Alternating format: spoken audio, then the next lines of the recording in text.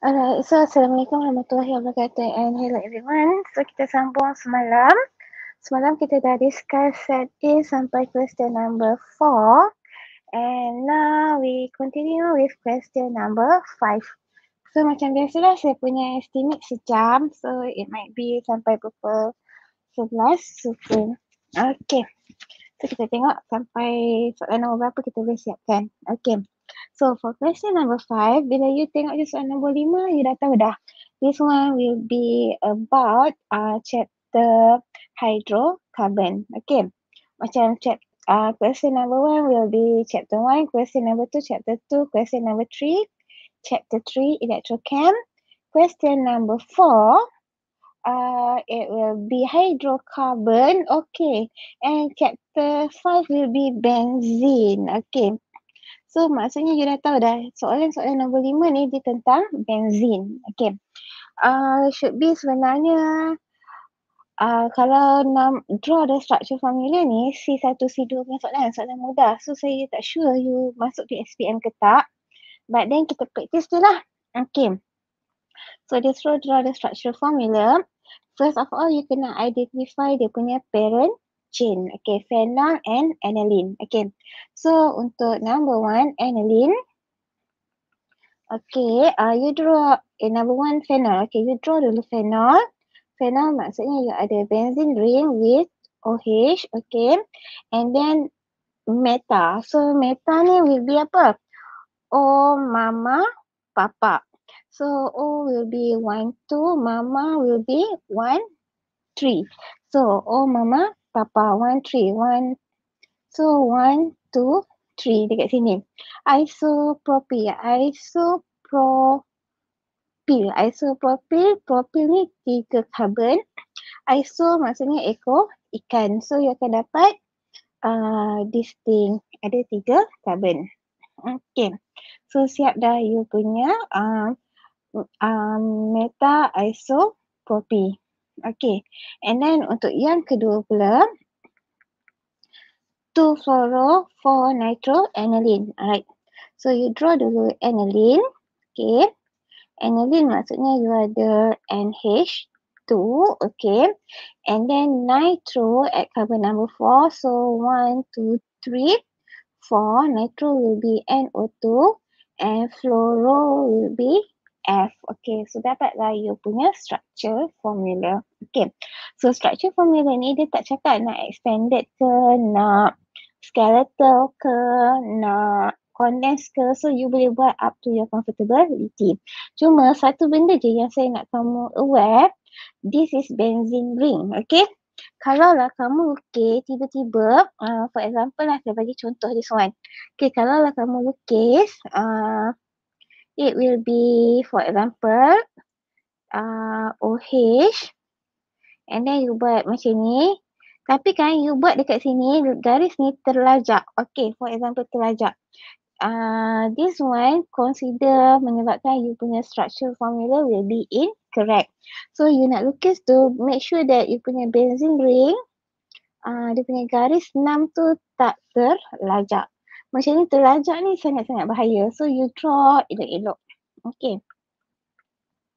So itu tips untuk you nak draw benzene ring. Okay, this one will be one structure, one mark. Okay. And then the next question, question number five B. Okay. So for question number 5B, dia minta kamu buat apa ni? Draw structure H and reagent I. Okay. So H ni apa nama tindak balas dia? This one will be halogenation. Okay, dia pakai free radical substitution. Okay. So jadi berlaku tindak balas di mana? Pada you punya alkyl group. Okay. One hydrogen will be substitute with your chlorine. So you punya H will be Okay, uh, CH2Cl. Okay, you jawab, make sure that you label you punya structure H. Okay.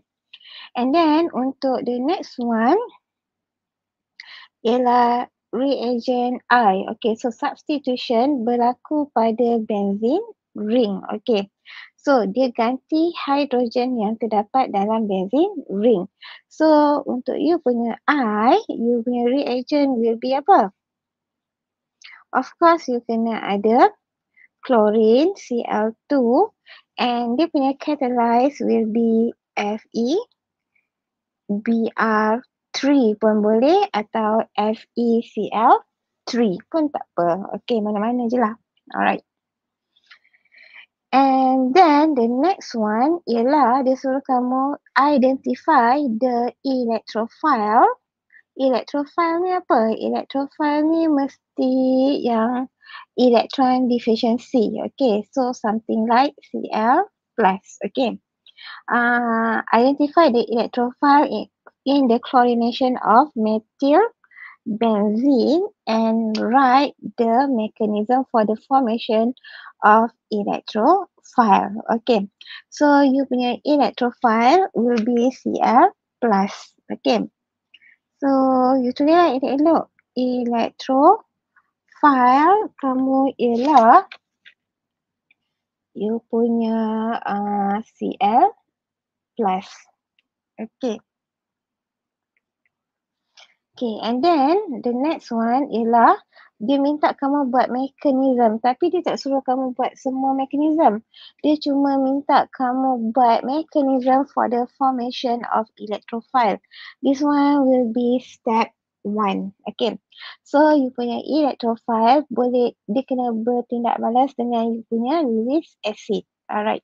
Lewis acid catalyze kamu. So apa yang berlaku ialah uh, tempat yang banyak elektron you punya chlorine ni akan attack Fe. Okay. So bila you dah attack Fe, you akan dapat uh, complex. Okay. FeCl3 ni adalah Lewis acid So this one kita namakan dia sebagai Lewis acid complex. Okay. So you dapatlah Lewis acid complex. Apa yang berlaku dia akan combine semua. Okay. Nampak tak dia menghasilkan satu bond yang baru. Okay. And then after that apa yang berlaku? You nak dapatkan electrophile maksudnya you kena bawa keluar satu klorin. You kena bawa keluar klorin ni. Okay, jadi apa yang berlaku ialah you punya bonding elektron ni akan pergi ke arah klorin. Alright, so nanti you akan dapatlah Cl plus dan juga FeCl. Okay, kita just boleh combine satu klorin campur dengan tiga so you dapat empat. Cl4. Okay, so negative. Alright, so itulah dia you punya mechanism. Alright uh, untuk this thing you ada dua markah, okay? Satu markah, markah yang pertama adalah pada arrow. Okay, you ada dua-dua arrow ni. Uh, one, two, dua-dua arrow ada you dapat one mark, okay? And another one adalah untuk you punya equation. Alright, so equation will be this thing lah. Semua ni betul will be one mark. Okay. So dapat dua markah pada mechanism. Okay. And the next one, dia minta kamu draw the structure of the product formed when the methyl benzene undergoes oxidation with acidified KMnO4. Okay. So oxidation ni simple lah. Berapa banyak you ada akil benzene pun, you tetap akan dapat produk yang sama.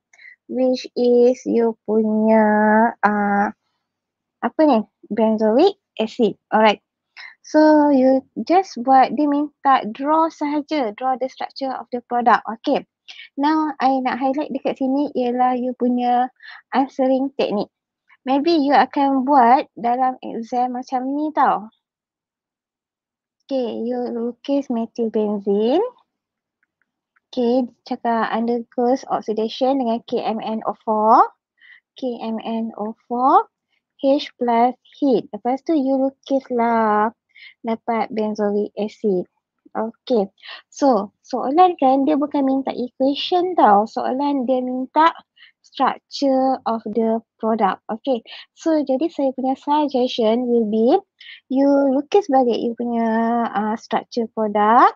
Okay. C-O-O-H. Lepas tu you label dekat sini. Product. Okay. Sebab usually pemeriksa dia tak akan uh, pilih jawapan untuk kamu. So, uh, itu je lah. Okay, and then the next one will be uh, apa lagi? Okay, the next one, uh, question number eight. Okay, Quest eh, question number six. So, question number six, dia minta apa? Okay, dia minta kamu the IUPAC name for the following haloalkane, alright? So untuk this thing, uh, you jangan bagi nama terus. You kena lukis dulu dia punya structure. At, at least you expand bahagian yang dia kom buat apa, dia compress dekat sini. So supaya you boleh nak cari dia punya the longest carbon chain. Okay. So yang mana yang center sekarang? Yang center dekat sini kan? Okay. So you ada C. And then saya nak lukis BR uh, pada C ada tiga methyl group. Okay. So uh, this one will be the longest carbon chain. Okay. The longest carbon chain dia ada tiga carbon. So kalau tiga carbon nama dia akan jadi apa? Propane. Alright. So you tulis lah nama propane. Okay and you ada dua substituent. Uh, bromine huruf B and methyl huruf M. So you kena tulis bromine dulu lah ikut alphabet. So it will be one, two, three. So two bromo, two metal, propane. Okay. And the next one untuk number eight two, okay. Sama juga you expand. Kalau ikutkan di sini, carbon ni yang tengah-tengah. So carbon ni ada dua uh, ethyl attached. So saya buat CH2, CH3.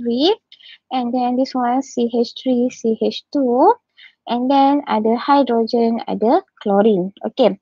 So the longest carbon chain ada lima carbon and you punya chlorine at carbon number 3. So you akan dapat lah nanti 3 chloropentane. Okay.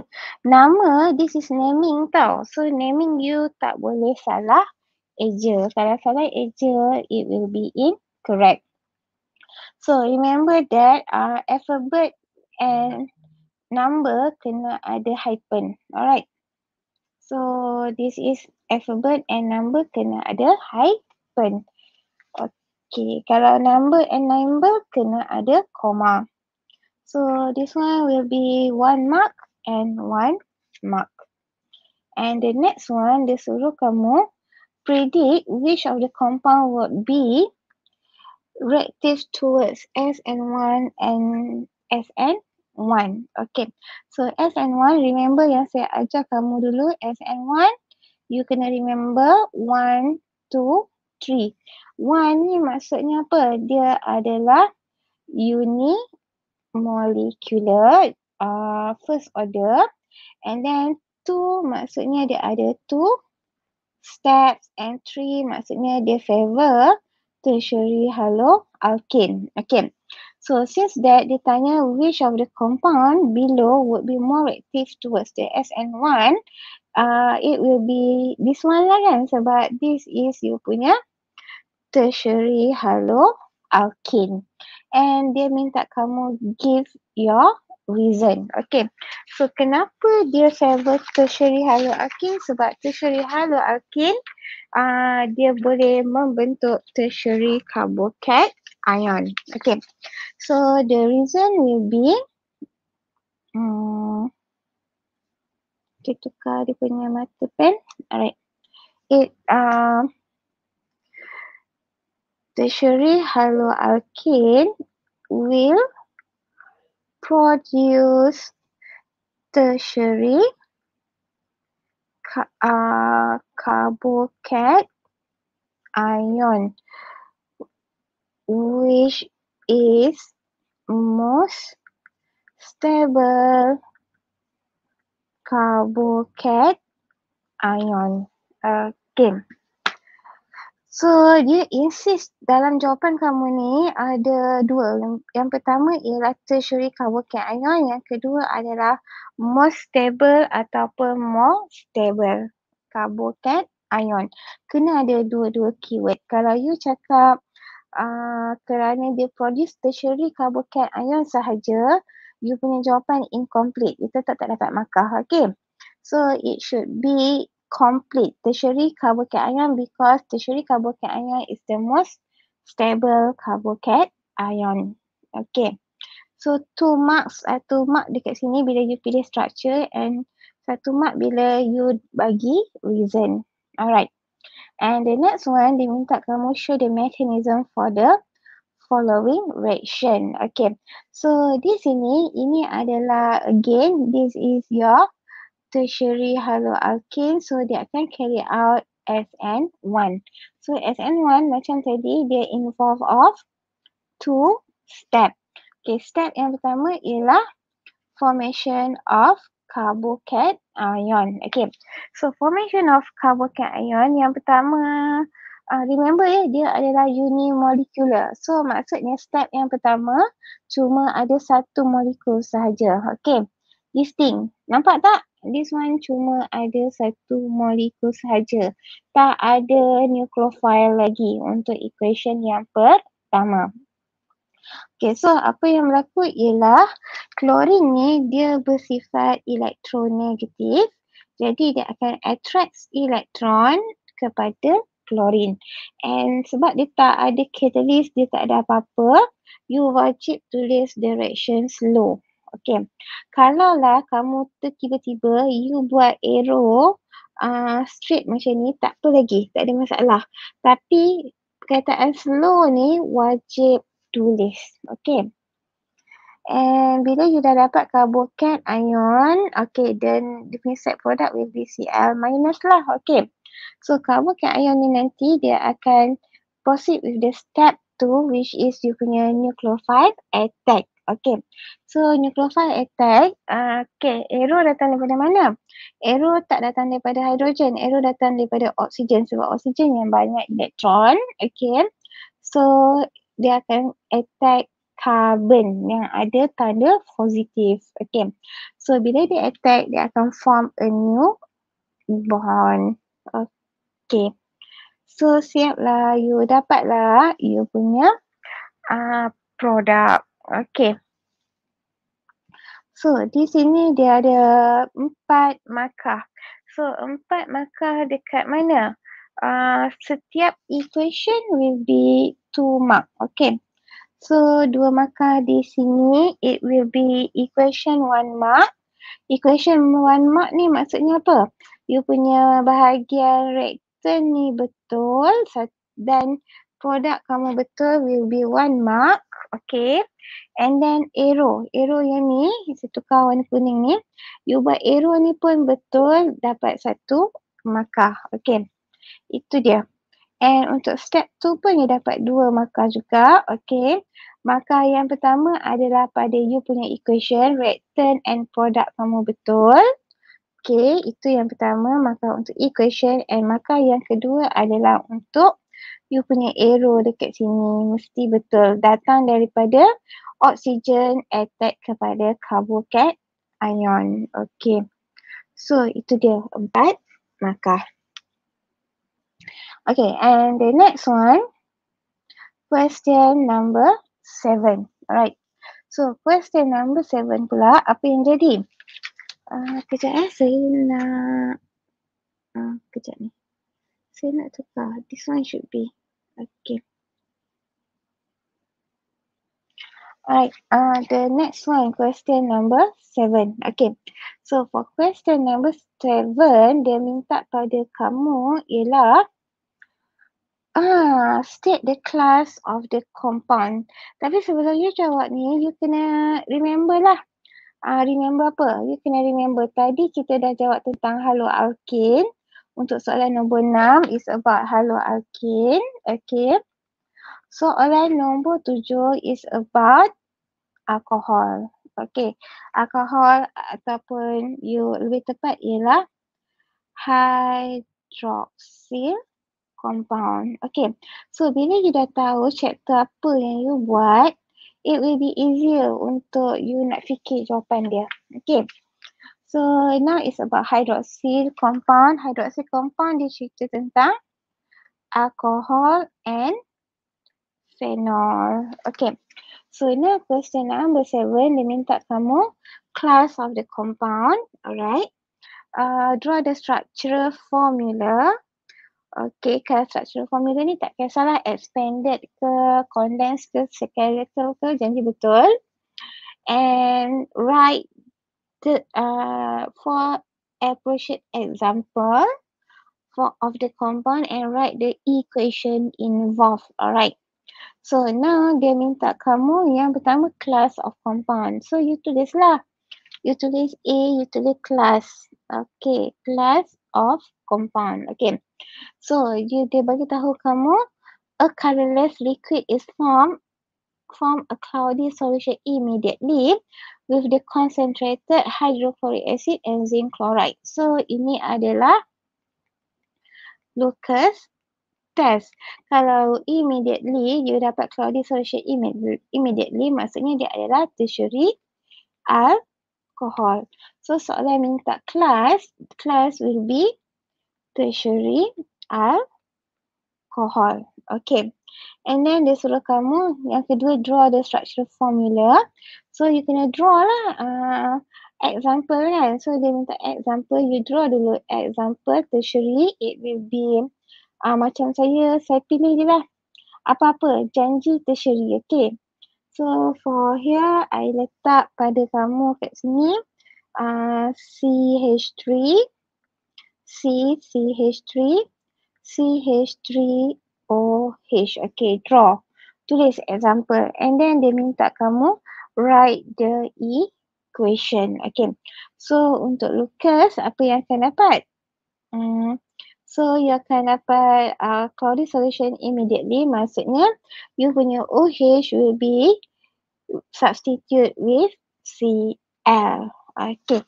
So you akan dapat lah nanti um, CH3, C, CH3, CH3, Cl. Okay.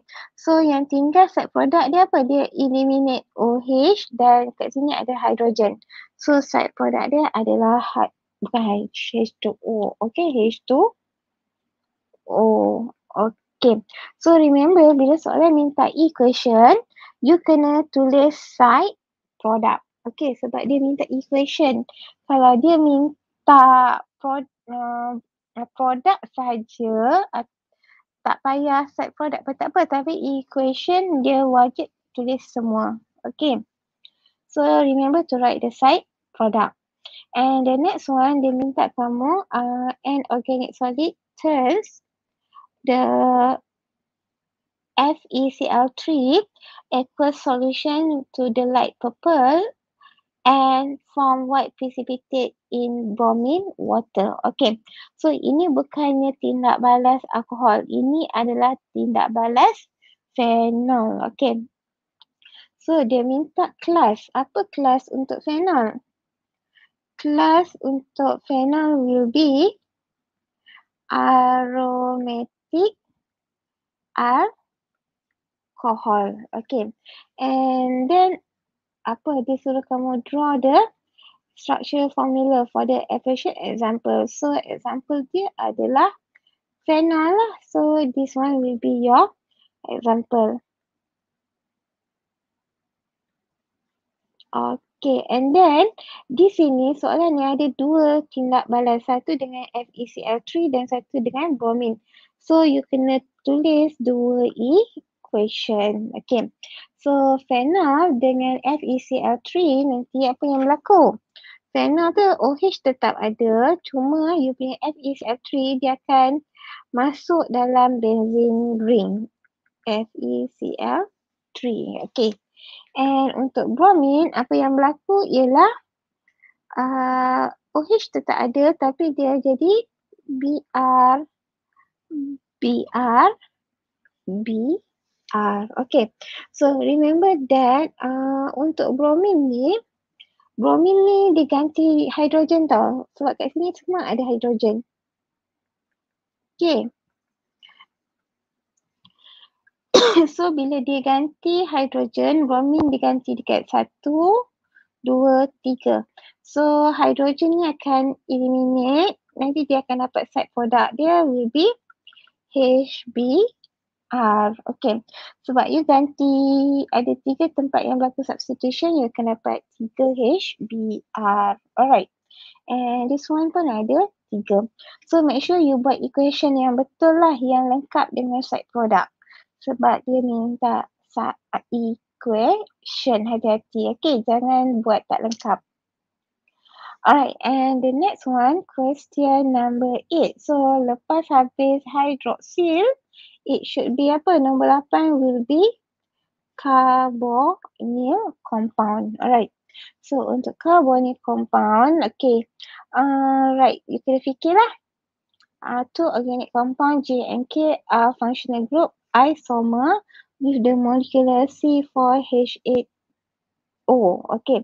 So di sini ditulis dulu. Uh, dua-dua mempunyai adalah functional group isomer. Okay. So dua-dua adalah C4H8O. Okay. So you ada J and K. Okay. Functional group isomer. Alright.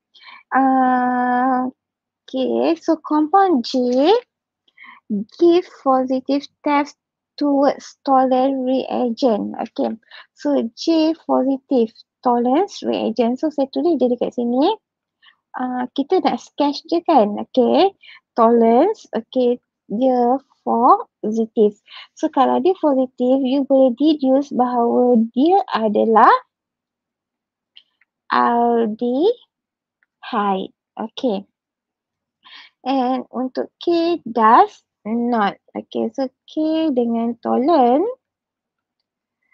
tak berlaku tindak balas. So maybe dia adalah ketone. Okay. So suggest the structure for both compound J and K and write the compound the equation for the reaction for compound J. So, apakah you punya suggestion? Um, okay. Uh, dia ada empat carbon. Okay. So, you punya J, it should be apa? Um, kalau empat carbon aldehyde, it will be uh, satu, dua, tiga, empat. C double bond O, hydrogen. Boleh ke buat macam ni? Boleh, tak ada masalah. Tapi saya tak suka sangat. Saya takut kamu confuse. So kita buat yang macam biasa. Empat carbon maybe one, two, three. Four ada C double bond O, H, okay. And then you lengkapkanlah setiap carbon mesti ada empat bond CH3, CH2, CH2. Okay. And apa lagi kebarang kalian yang boleh? So boleh juga macam ni. CH3, CH, CH3, CH2, C double bond O, Hi H. Okay, boleh juga. Tak ada masalah. Okay, yang mana-mana jawapan pun tak apa. Janji yang pentingnya ialah J mesti aldehyde. So this one adalah aldehyde, this one adalah aldehyde. Dua-dua jawapan betul. Okay. Tapi you tak payah buat dua-dua jawapan tau. Kalau exam you pilih salah satu saja.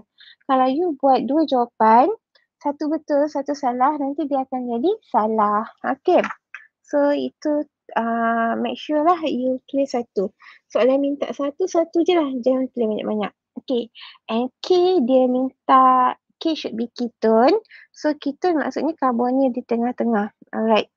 So karbon ni di tengah-tengah you reka lah maybe you akan dapat dekat sini uh, CH3, CH2, CH3. So empat karbon. Alright. So itu K. Make sure you label. Okay kalau you tak label tak ada markah. And lepas dia suruh suggest the structure, dia suruh kamu buat apa? Uh, equation for the reaction of compound J. Okay. So J positive tolerant. Okay. So you nak kena buat equation. Maksudnya you kena tahu uh, react, uh, reagent. Okay. Kalau you tulis tolerance reagent salah habislah. Right. So kita saya nak pilih structure aldehyde yang ini. Okay you nak pilih yang ni pun tak ada masalah. Dua-dua betul. Okay. So saya buat di sini. It will be CH3, CH2, CH2, C double bond OH. Okay. Tolerance region tu you kena tulis betul-betul ya. Jangan salah. It will be AG. And then dia ada NH3 ada berapa? Dua. Okay. And ada tanda positif. Okay. And comma OH minus. Alright. So, apa yang akan berlaku? Okay. Uh, dia akan mengalami oxidation.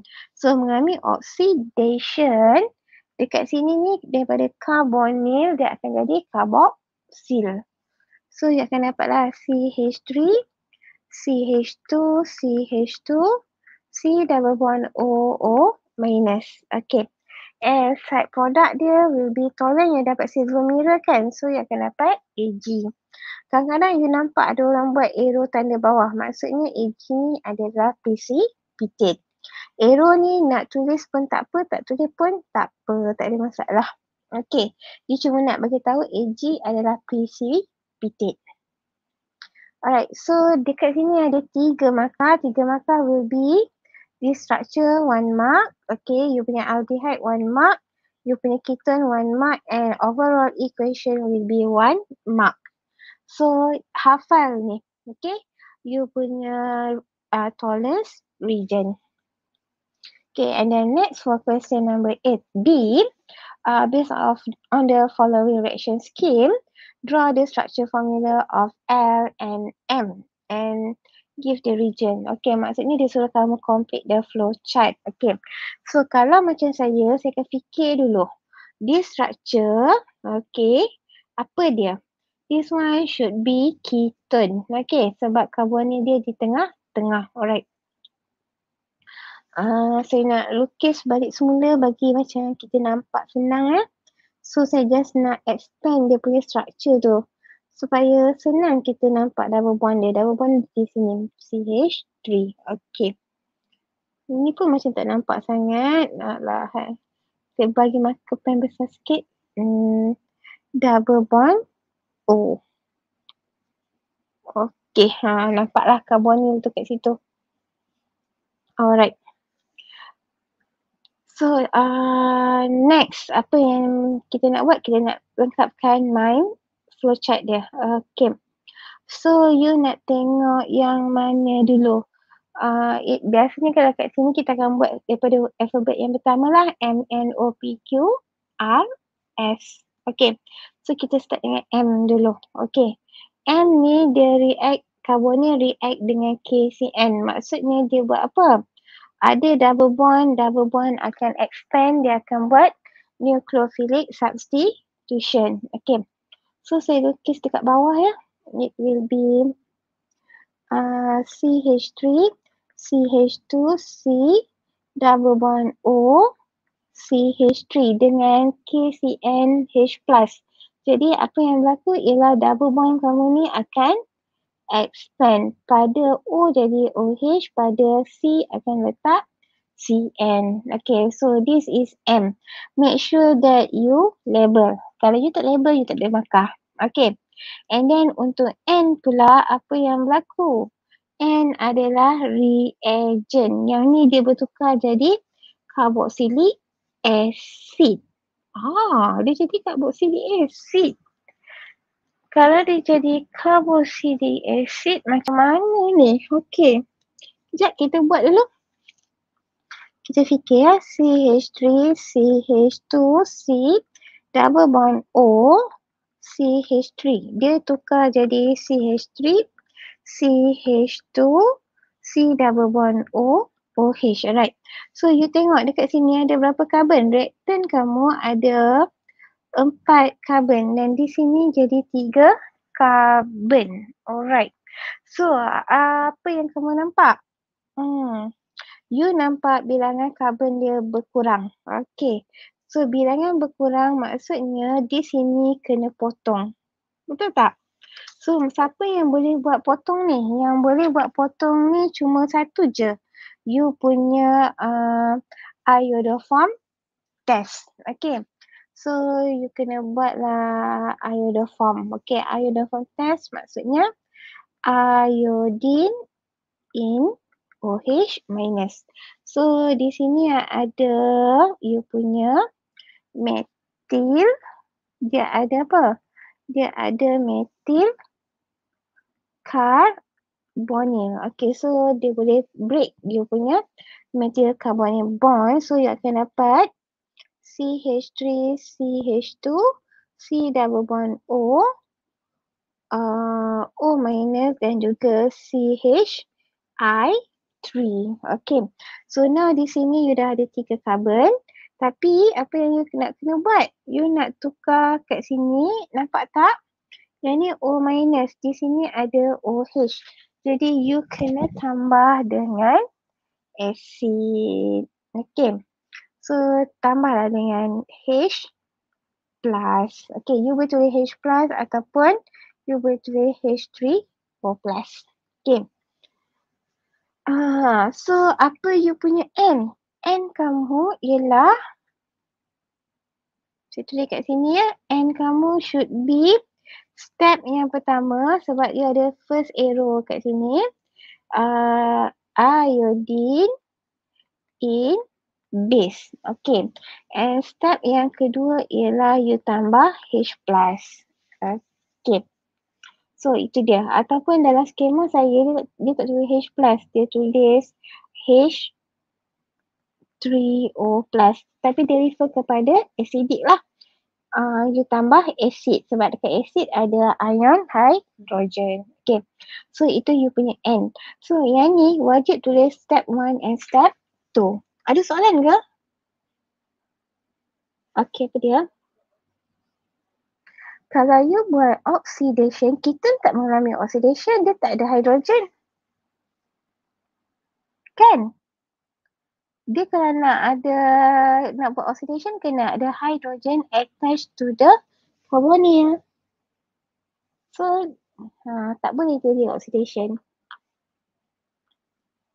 Alright. Okay, ada soalan lain tak? Tak ada. Okay, kalau ada tanya je ya. Alright, so itu question number uh, N. Okay, so next one kita proceed with P. Okay, so untuk P, alright. Untuk P dia tambah dengan mana? Kalau you perasan dia tambah di sini and di sini. Yang ni pun adalah nucleophilic substitute. Uh, nucleophilic addition. Alright, so kita tengok dulu.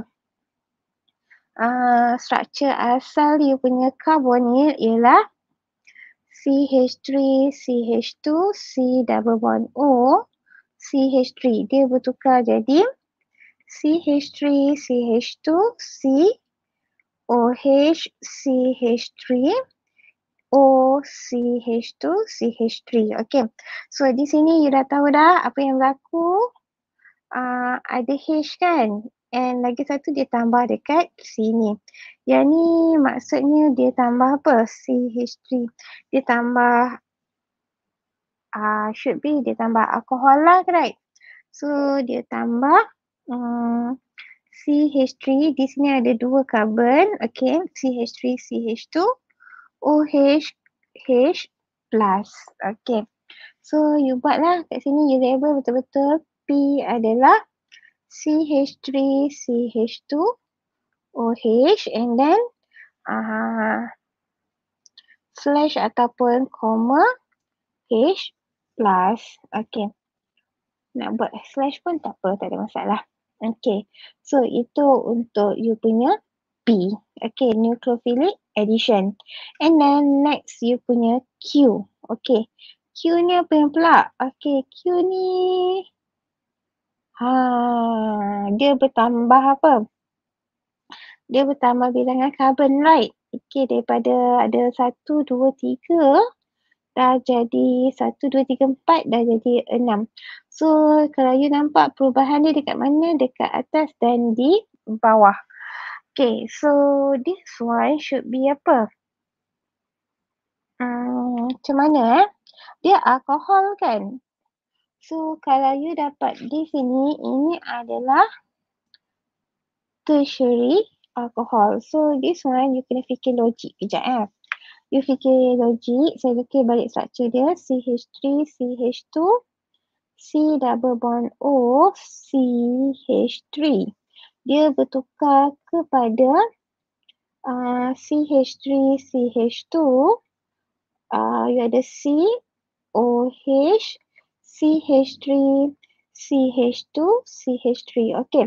So dia bertukar daripada karbonil kepada alkohol. So ditukar daripada C double bond O kepada C OH. So yang ni ada dua possibility. Sama ada yang pertama adalah reduction. Okay. Tapi kalau reduction, dia reduce, uh, dia akan dapat macam mana? Dia cuma akan dapat, kalau berlaku reduction, dia akan dapat CH3, CH2, COH, CH3, H. Okay. So ini kalau you buat dia jadi reduction. For example, guna uh, lithium aluminium hydride. Okay. So saya buat macam ni lah. Saya tak tulis reduction. Saya just buat huruf H. Okay, reduction. Right. So ini akan structure dia. Kalau lah dia buat reduction. Okay. Tapi yang ni kalau kamu nampak apa yang berlaku, dia tambah lagi bilangan karbon. So dia bukan proses reduction tapi dia reaction with Grignard reagent. Okay. So, oh, you kena buat lah reaction dengan Grignard reagent. Nak buat reaction dengan Grignard reagent maksudnya ialah you kena fikir Grignard apa yang sesuai. So, you masukkan dekat sini kan. Alright. Saya tukar pen warna merah. Alright. So, you kena tambah lah you punya Grignard reagent. Sebab dia ada dua carbon. So, you akan letak CH3 CH2 MgBr. Okay. And then this step dia akan follow dengan hydrolysis. Okay. So reaction dengan Grignard. Okay. So jadi you punya huruf Q, structure Q kamu you kena label lah betul-betul. Yang ni pun kena ada step 1. Step 1 adalah reaction dengan Grignard CH3, CH2, MgBr. And yang kedua, dia kena buat hydrolysis. Okay. And lastly, ialah you punya L. Okay, L ni apa pula?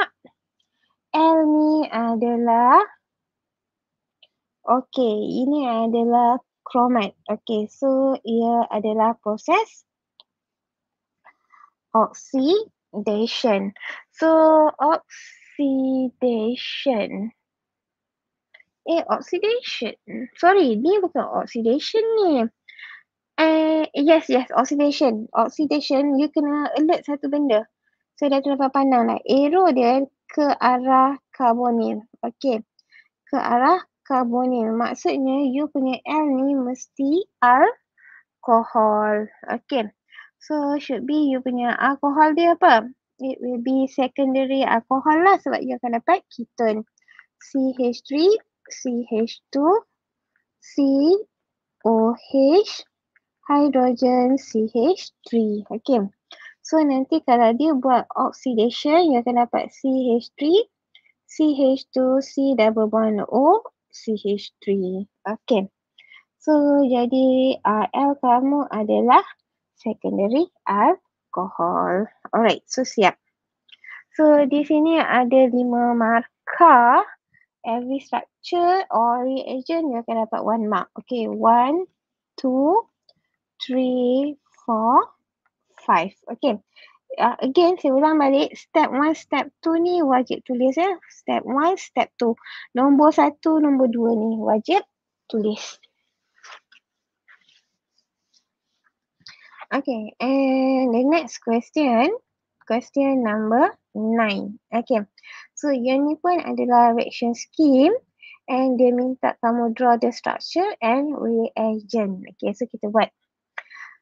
Okay, this one will be more complicated. Uh, sebelum you buat ni, you dah tahu dah. Soalan number nine ni adalah soalan carboxyl compound. Okay, carboxylic acid.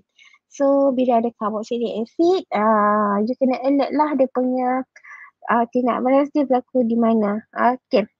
Tapi untuk soalan ni, dia ada banyak functional group tau. So you kena consider betul-betul gimana berlaku tindak balas.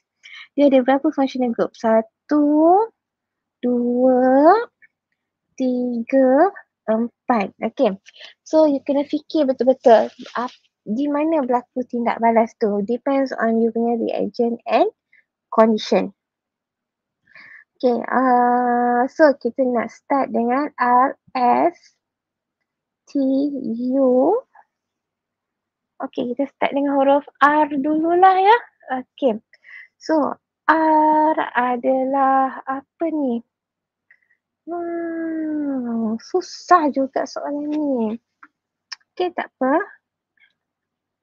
This one is quite complicated. Okay. Uh, siapa yang boleh bertindak balas dengan KCN?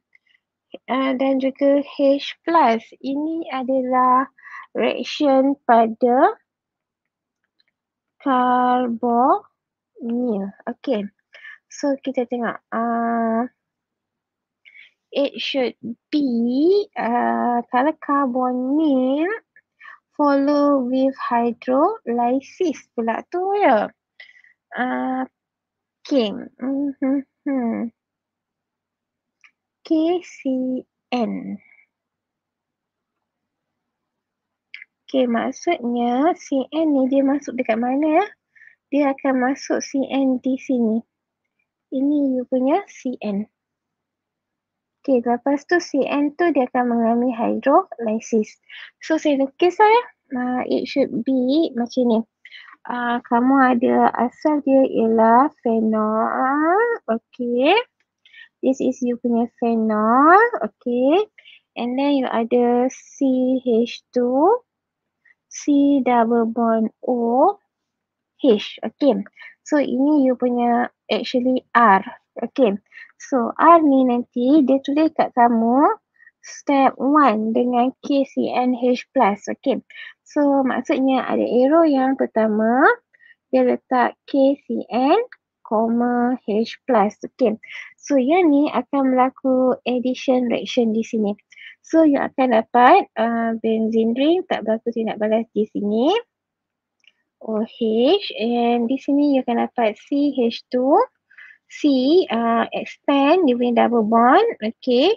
So pada O you letak hydrogen, pada ni you letak CN. Okay, itu step yang pertama. And then step yang kedua, dia bagi tahu kamu hydrolysis. So hydrolysis ni berlaku tindak balas hydrolysis pada you punya CN. Dekat sini yang berlaku hydrolysis. So hydrolysis dia, you akan dapat carboxylic acid. Hmm. So you akan dapatlah nanti OH CH2C OH H C O O H. Okay. So this thing Okay. Yang ni adalah sama dengan you punya structure ni. Okay. So R kamu adalah distinct. Okay. And then next, dia minta kamu yang kedua pula R. Uh, lepas R will be RS ya. So S ni apa yang berlaku? S ni adalah you punya reaction dengan alkohol. So should be alkohol siapa yang boleh bertindak balas dengan alkohol? in the presence of concentrated hydrochloric acid and reflux. Okay. So yang boleh bertindak balas dengan alkohol should be yang mana satu punya functional group. Okay, kita padam balik yang ni. Uh, it should be yang boleh bertindak balas dengan alkohol adalah you punya carboxylic acid with alcohol. Proses apa nama dia? Esterification. Okay. So esterification. So esterification apa yang berlaku? You punya alkohol akan donate hydrogen, carboxyl you akan donate OH. Right, so you punya S will be, kita draw balik you punya phenol. Phenol ni tak berlaku tindak balas lagi, OH. Alright.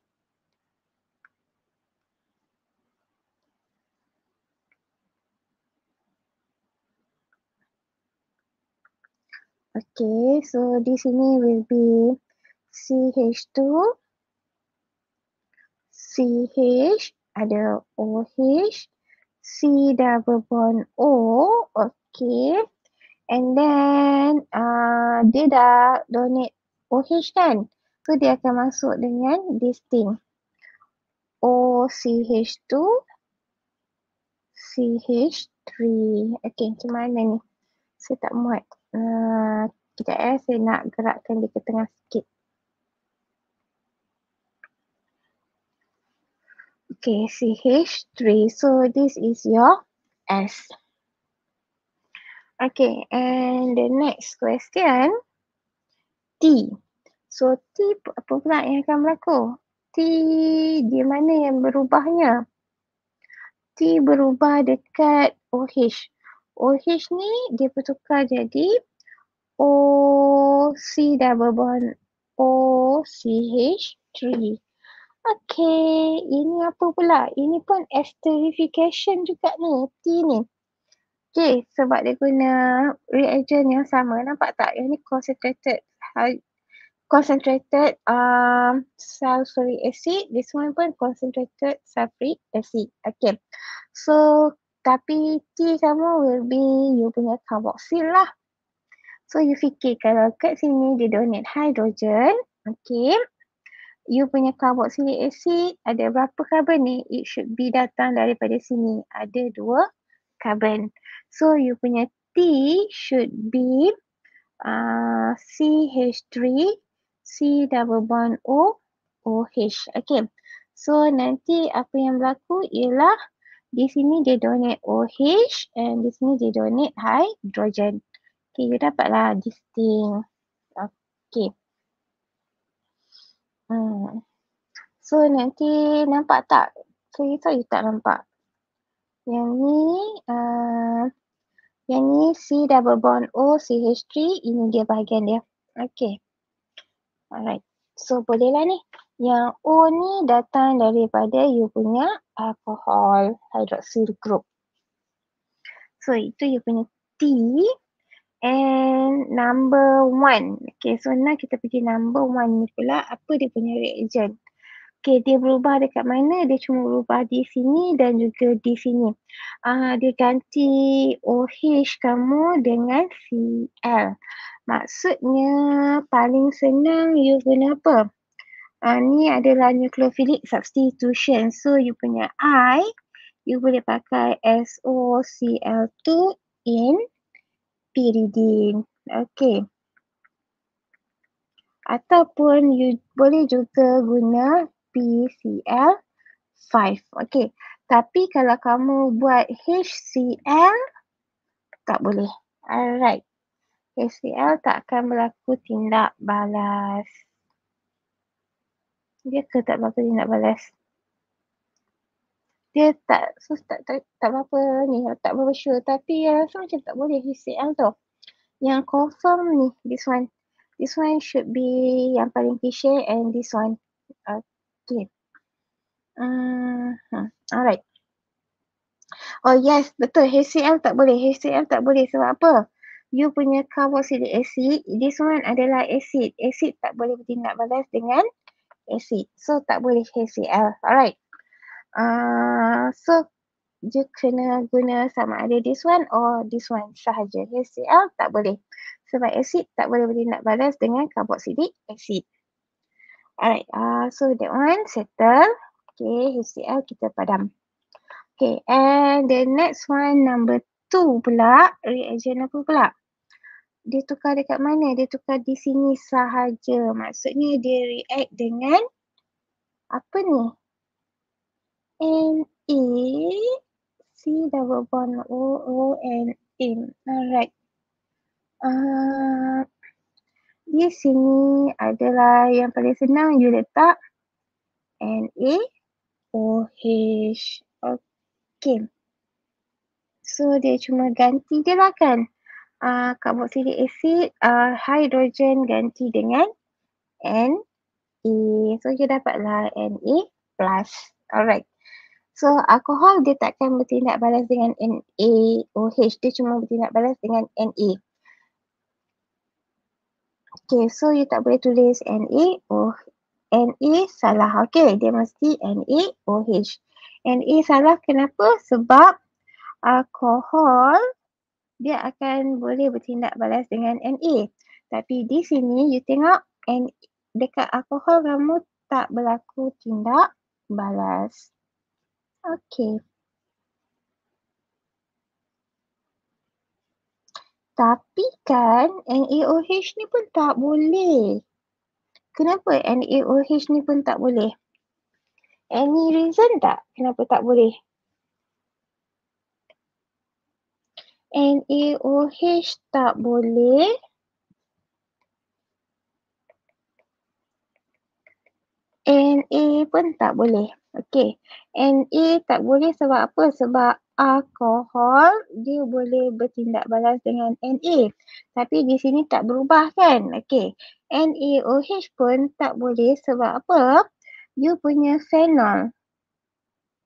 Phenol kamu bertindak balas dengan NaOH tapi di sini tetap tak berubah. Hmm. So, you nak ganti, nak dapat Na ni daripada mana? So Na kamu boleh datang daripada benda base yang lain. Okay. So base yang lain should be for example apa lagi base yang boleh you letak. For example you letak NaCO3. Okay. Sodium carbonate. Apa-apalah jenis base. Sebab you punya acid, carboxylic acid semua adalah acid right. So you boleh letak apa-apa jenis base. Tapi you tak boleh letak sodium sebab alkohol bertindak balas dengan sodium. You tak boleh letak alkohol sebab alkohol, eh, you tak boleh letak sodium hydroxide sebab phenol boleh bertindak balas dengan sodium hydroxide. Tapi di sini hujung ni dua-dua ni tak berlaku tindak balas. Berlaku tindak balas cuma pada bahagian you punya acid sahaja. Okay.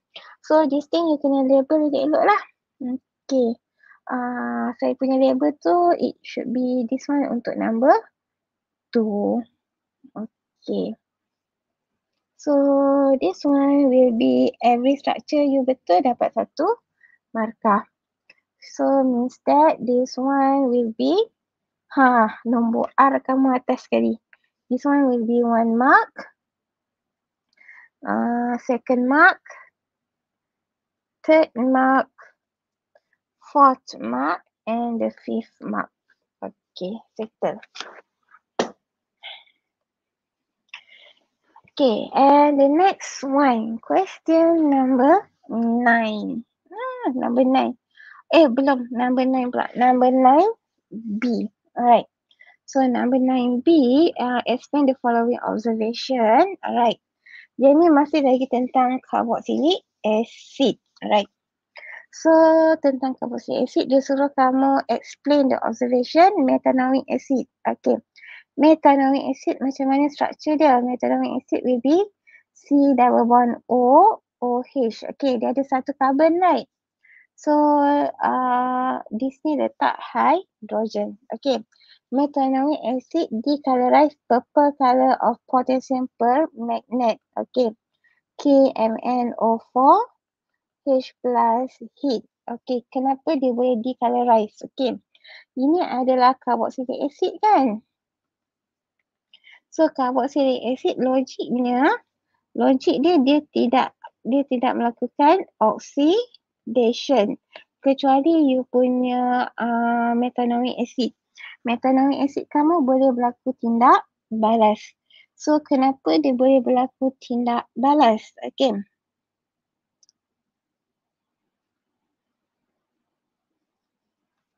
Okay, sebab apa?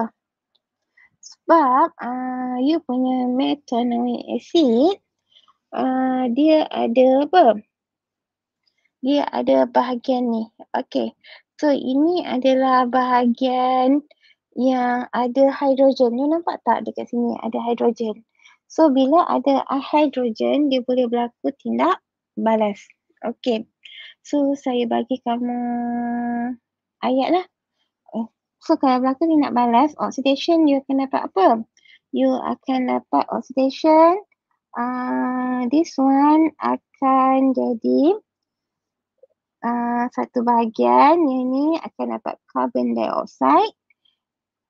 And lagi satu bahagian you akan dapat H2O. Okay. So reason, dia minta reason. So reason dia will be, um, saya buka skema, malas nak tulis.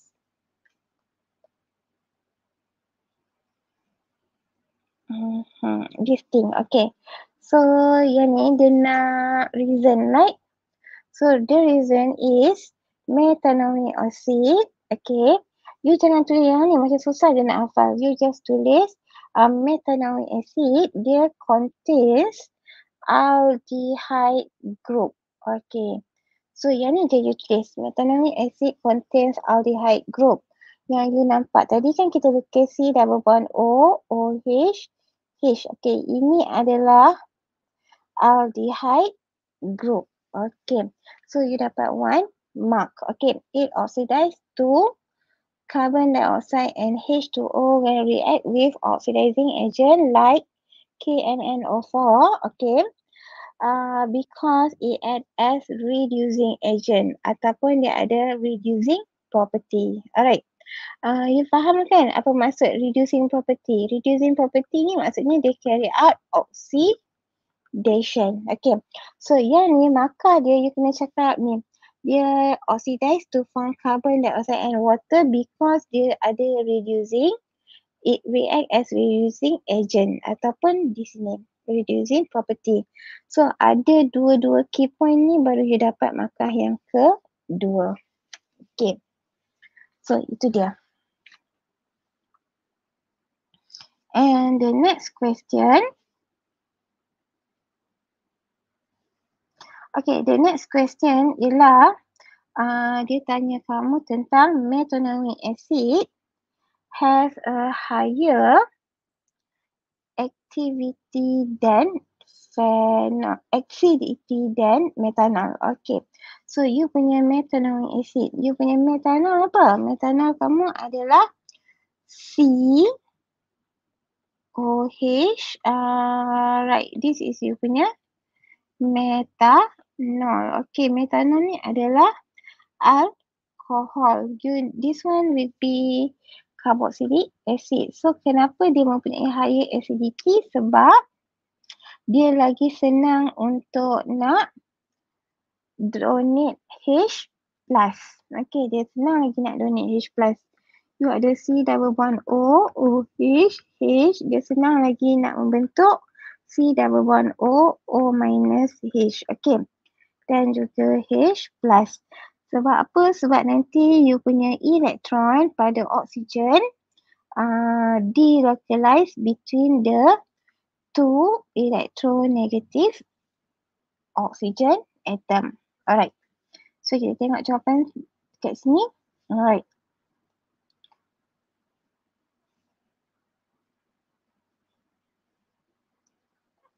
Okay. Boleh dapat tak? Okay methanol ion form. Okay. Okay, yang ni dia cerita tentang stability. So, methanol, methanol ion form. Okay, kalau macam ni kan, saya bagi kamu faham sikit. Saya buat equation dekat sini. Uh, this one will be kat mana ya saya nak lukis. Okay, saya tulis kat tepi ni lah. um, C double bond O, OH, H. Okay. And you akan dapat C double bond O, O minus dan juga H plus. Okay, di sini hydrogen. Alright. So, yang ni, benda ni, ini namanya ialah methanol form is more stable than methoxide ion. Methoxide ion will be apa? You punya methanol ni lah. Methanol, dia kalau acid, dia kena donate hydrogen. Okay.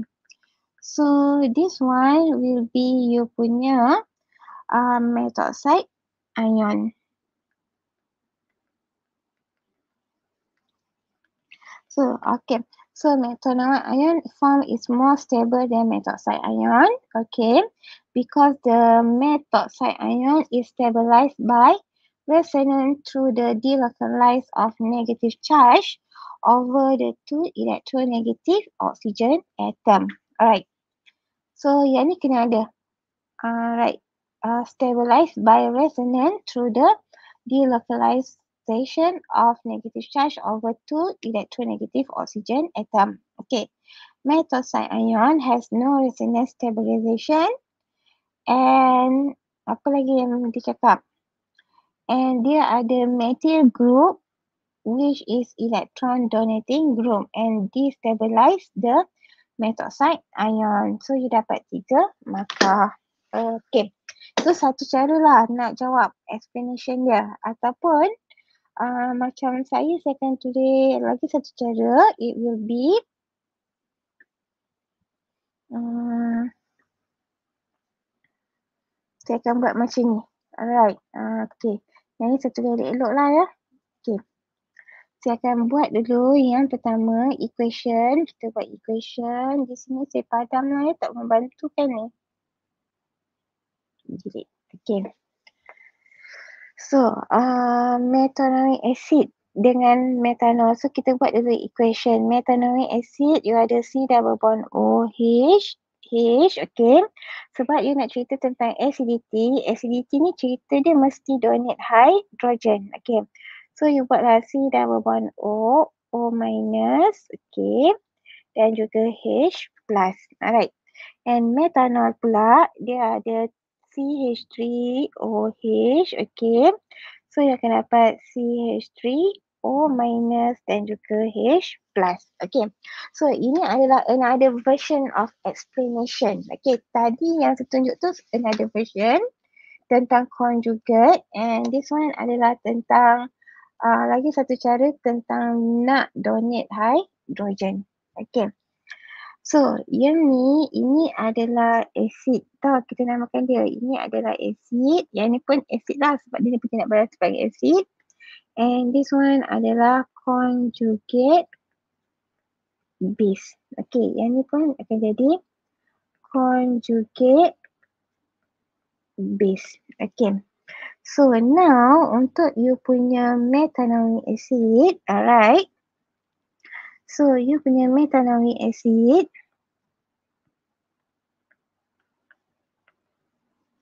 methanolic acid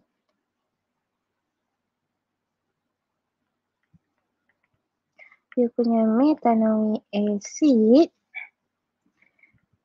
easier to donate H plus. Okay. Compare to methanol. Okay. Kenapa? Because okay, add you punya methanolic acid. Okay, uh, di sini methanolic acid, you tengok gambar ni. Okay, the negative charge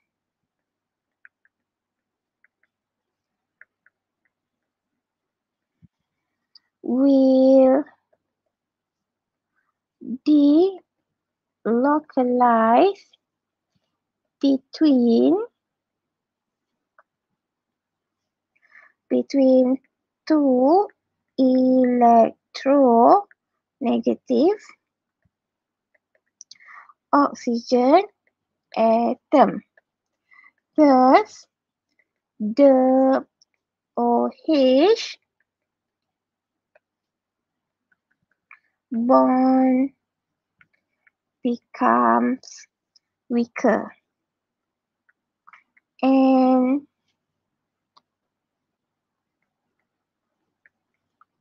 easier to donate H plus. Okay. So itu salah satu cara. Okay, OH bond ni kat mana? OH bond ni di sini ya. OH bond. Kalau saya nak expand, it will be OH bond. Okay, ini you punya OH bond. Alright. So, apa yang berlaku ialah elektron ni dia delocalize. Elektron ni dia delocalize, dia berubah tempat. So, bila dia berubah tempat, bond ni jadi senang nak putus. Okay. Uh, dia jadi weaker and senang nak putus. So, dia senang nak donate H plus. Alright. And point yang ketiga pula ialah untuk you punya methanol. Um, add methanol. There is, uh, there is apa? Akid methyl group which is electron donating group. Okay. So electron donating group maksudnya dia akan donate electron. Dia akan donate electron pada oksigen. Okay. So bila dia donate electron pada oksigen, apa yang berlaku ialah you punya OH bond becomes stronger. Thus, harder to donate H plus. So, bila dia harder to donate H plus, it will be less acidic. Okay, so your methanol will be less acidic. Alright, so itulah sahaja. Alright, uh, so kita stop lah sampai soalan nombor sembilan dah cukup sejam dah. Okay. So esok kita sama sikit lagi soalan nombor sepuluh, sebelas, dua belas. Alright. Okay, so thank you untuk yang join pada malam ini. So esok dah start kelas macam biasa, face to face. Alright. So jumpa dekat kelas nanti. Bye bye. Alright, ada soalan boleh tanya. Okay, bye. Saya dah